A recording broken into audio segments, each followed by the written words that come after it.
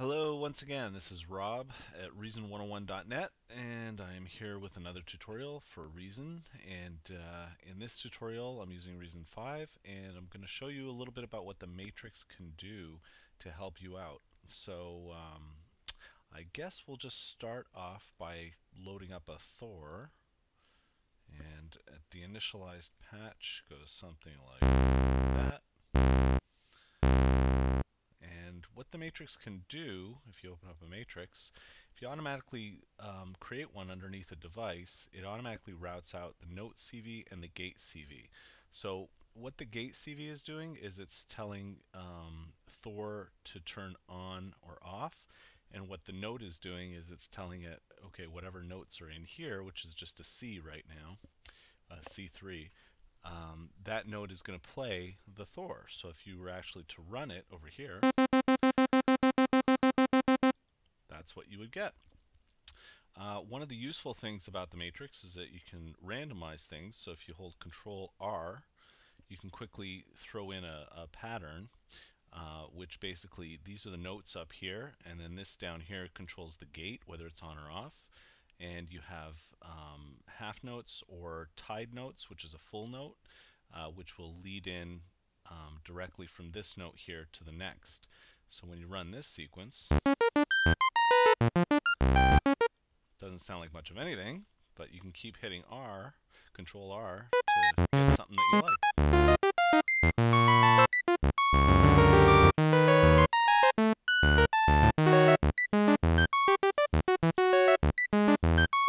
So that's the way that that works.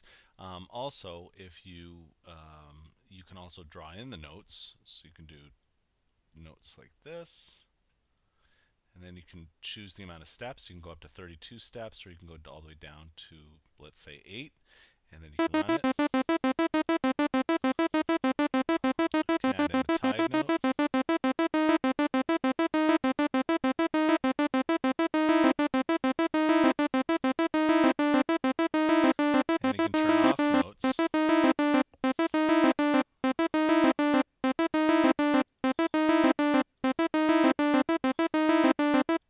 That's how the matrix works. The other cool thing about the matrix is you also have this curve CV, which if you turn on the curve over here, this will turn in to show you the curve that's happening. And you can do bipolar or unipolar. Um, so what you can do is you can do a curve like this, let's say, or if you hold down your shift key, you can draw an even curve all the way through. And then what you can do is you can send your curve CV. Let's say we send it to the pan input and turn up the trim knob. And now what that's going to do is the curve is going to control the panning of the device. So as you play it,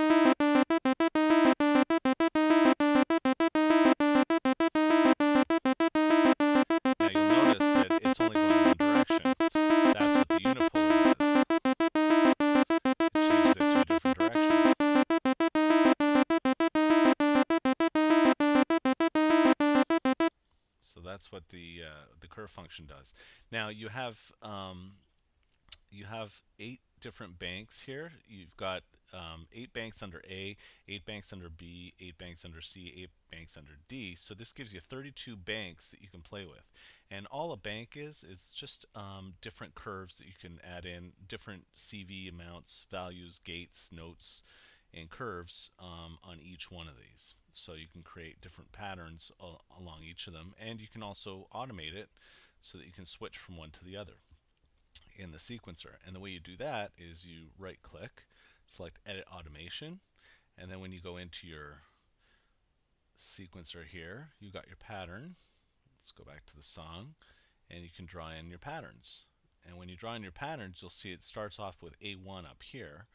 So you can quickly change this pattern if you want, and you can select any of the banks. So if I want pattern A to go over here, and then I'll copy another pattern over here, and let's just loop this, I can select A2. So this will play pattern 2. So what's going to happen is when you play it,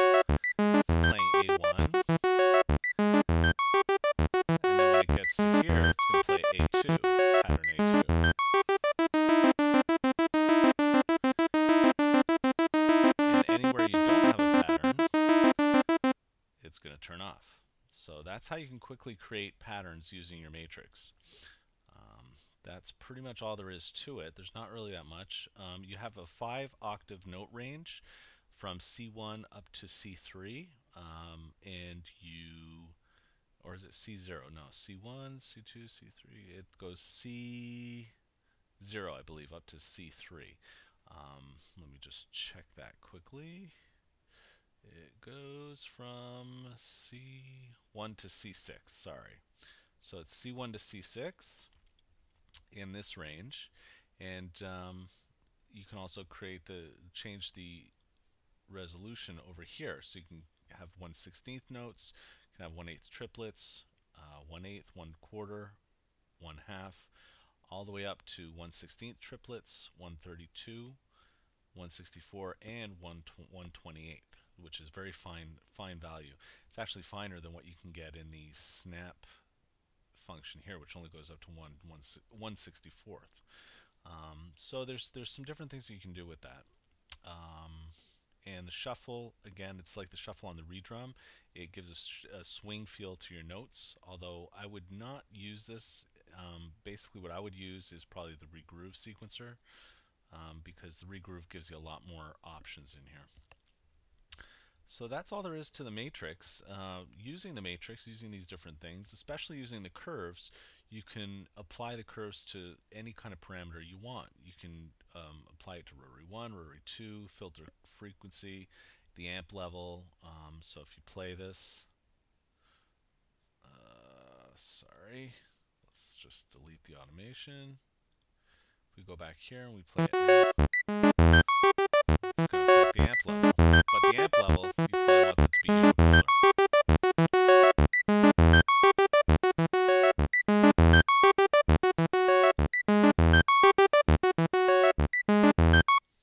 So you can use those curves to affect any CV value um, or any CV parameter on other devices.